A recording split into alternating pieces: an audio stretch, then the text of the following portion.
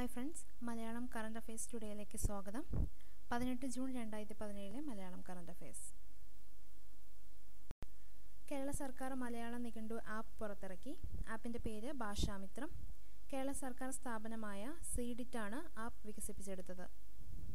Indian badminton താരം K Srikanth ജക്കാർത്തയിൽ വെച്ച് നടന്ന ഇന്തോനേഷ്യൻ ഓപ്പൺ ബാഡ്മിന്റൺ കിരീടം നേടി. ജപ്പാന്റെ ബാഡ്മിന്റൺ താരം കെസ്മസ സാങ്ഹിയെയാണ് ശ്രീകാന്ത് തോൽപ്പിച്ചത്.